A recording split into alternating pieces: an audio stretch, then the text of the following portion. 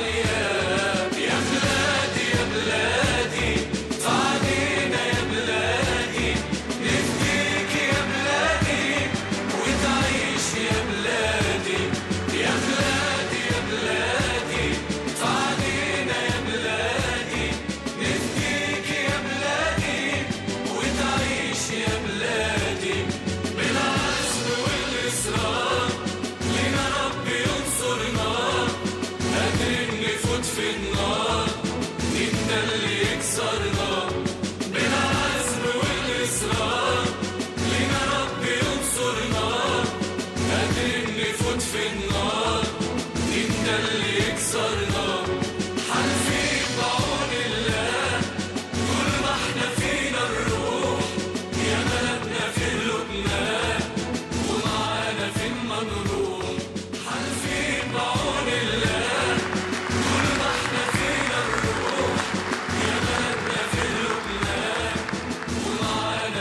olur